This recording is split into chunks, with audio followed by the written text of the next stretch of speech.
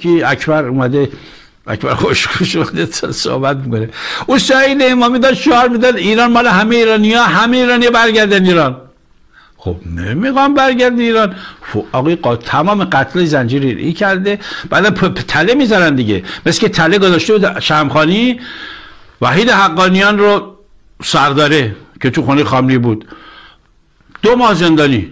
بازجویی تله می‌ذاره. تله چیه؟ مثلا مثل فخریزاد مثلا. تله می‌ذاره مثلا توی خونه یه فاشه که سری پرستو میرن یارو میگه بعد یارو میگه بابا تو چرا برای علی خامنه‌ای مرتی که کار می‌کنه اینا؟ این کار می‌کنه تو فلان فلان. یه شروع می‌کنه میگه آره با این مرتی که ولش کنی که ادب نیست که ما اصلا ادب حسابش نمی‌کنیم. فلان اینا. بعد ثبت می‌کنه میرم پیش خامنه‌ای میگم بابا این نگاه فخریزاد بکشه بهش مرتی که فخریزاد می‌ذاره می‌کشن.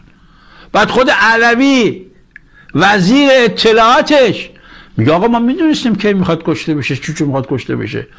گفتیم هم خبر داد شد. چرا؟ چون فهمیدن وزارت اطلاعات. دو ماه قبل گفته تو تو این نقاط دشمن داره کار جمع آوری انجام میده.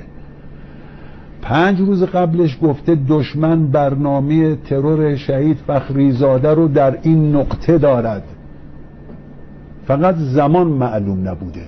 حالا دیدم در بعضی از توییت ها گفتن وزارت اطلاعات که زمان و مکان را گفته چرا جلوگیری اون مکان زمان رو کی گفتیم؟ گفتیم در این مکان می‌خوان بعدم از مسئولین مربوطه چون شهید فخریزاده جز نیروی مسلح بود اون فرگم که اولین تدارکات رو تهیه کرده بود برای ترور هم جز نیروی مسلح بود و ما نمی‌تونیم تو حوزه نیروی مسلح کار اطلاعاتی انجام بدیم. از اونا نپر خواستیم که بیان بنشینن و روی قضیه کار بکنیم که متاسفانه قبل از اینکه نماینده معرفی بشه و ما کار کنیم روی قضیه این اتفاق با کمال تاثیر حالا او کسی که عملیات رو اصلا برنامه‌ریزی اصلیشو کرده همین علی شمخانی خود این هم میگه اعتراف می‌کنه. ولی ببینین همچی به پت و پت میفته ول ول ول ول می‌کنه. آقا تو شورای امنیت ملی تو از تو خانه این فلان رئیس جمهور میگه تو خارج از کشور وزیر آبدارچی فلان جا خبر داری. خبر داری که حسن نقی محمد تقی حسین علی دیروز چی خورده؟ تو خبر داری که کی اومده رفته شانزلیزه خانه ایران از پلاش رفته بالا خبر داری؟ بهت خبر دادن. خودت میگه خبر داری که فخریزاد می‌خوام بکشنش کار نکردی؟ خب برنامه ترورش ریخته بودی دیگه. بعدم رفتی به خامنه‌ای گفته بودی آقا ضد شما شده فوش کشور. با دقت. احتمال وقوع حادثه علیه ایشون محل بروز احتمالی حادثه رو پیش بینی کرده بودن. می‌خوام بگم که دستگاه های اطلاعاتی به این اطلاعات رسیدن که ایشون هدفه و در کدام نقطه در همین نقطه ای که به شهادت رسید. قرار اقدام علیه ایشون صورت بگیره. دقیقا مثل کاری که برای سلیمانی کردن. سلیمانی روزی که اومد گفت من میرم آقای روحانی چون روحانی یک حرفی زده بود تو رابطه کارهای عملیاتی این و اینا هم خوشحال شده بود. ولی خب کمی چیز بود دیگه خنگم بود. من گفتم چند بار بهش گفتم.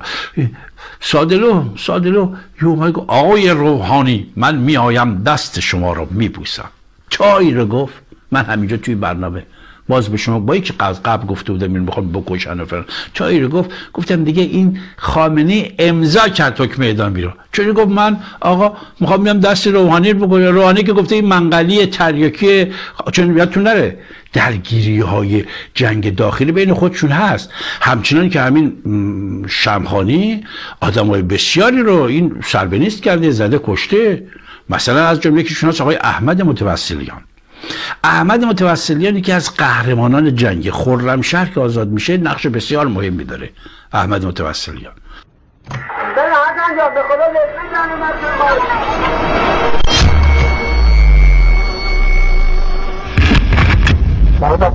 مسئله خونینشهر در حال حاضر به عنوان شریان مرگ و زندگی برای عراق مطرح.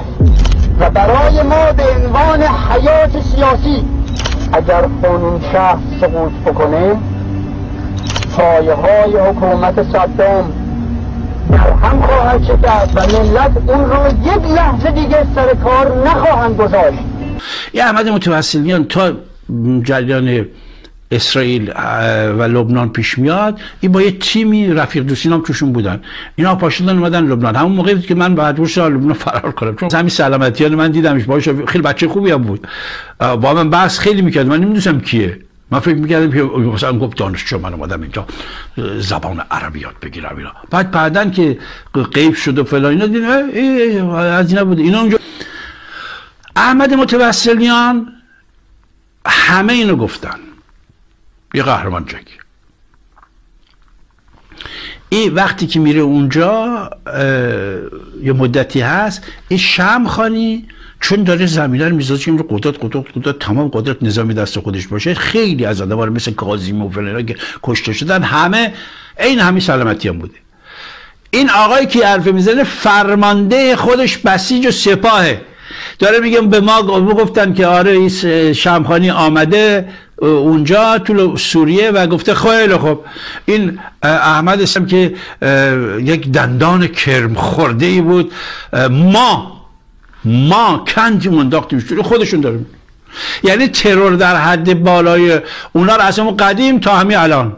تا همین الان. اکثر ترورایی که می‌بینید انجام میشه با همین معادلات چند میلیون دلار یا میاد یا نمیاد حزب بس عربستان سعودی انگلیس روسیه فلان اینا اما شام خالی کارش انجام میده. گوش کنین اینا.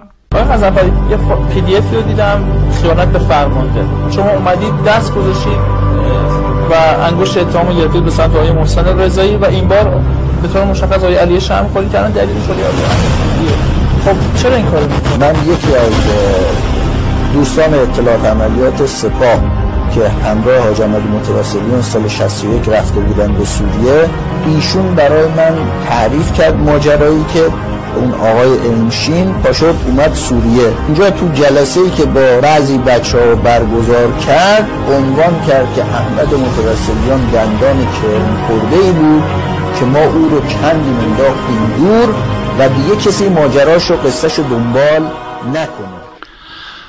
حالا سلامی اومد قاطع دیگه همین میگه. آقا فرمانده سپاه مرتی که وقتی دید همه دارن میگن و همه جای آبروریزی شده و همه فهمیدن بعد اینا همه نوکرای شمخانی هن شمخانی رئیس ایناست. شمخانی بر علی خامنه‌ای هم حکومت می‌کنه. حتی یه حاجی زاده هم می‌خواستن ترتیب شو بدن که مشتبه جونش نجات داد. تو پای اوکراینی یکی از اهداف بود که حاجی زاده چون از آدمای هست که تو باند شمخانی خود نابودش کردن. آمد یه استعفا بده مشتاقش گفت نه نه تو استعفا نده بشین سرجات باش. که وایساد. اینا استعفا داده بود رفته چند بار می‌خواستن بکشنش. حالا سلامی خودش داره میگه میگه آقا ما زدیم یه هواپیما اوکراینی بچهای مردم جوانای رعنا رو کشتیم. که آمریکا به ما حمله کنه. همون خطه. یادت نره خط چی؟ سینما رکس. سینما رکس و شمخانی محسن رضایی و رشید غلام علی رشید. اینا آتیش می‌زنن که چی بشه؟ که بگن شاه آتیش زده. بدون نقش بسیار موثری در سقوط شاه آتش سوزی سینما رکس آبادان داشت؟ همه این کاره هم که کرده علی شمخانی توی سالها اونجا بمب بذار اونجا آتیش بذار اونجا ایر بکش اونجا بکش. نقش مهم و موثری داشته. در نابودی ایران. باید به گونه ای عمل می‌کردیم که تصور دشمن در عکس عمل را فرو میپاشاندیم. ما می‌خواهیم از یک جنگ بزرگ با یک جنگ جلوگیری کنیم. این شجاعانه ترین تصمیم تاریخ ایران است.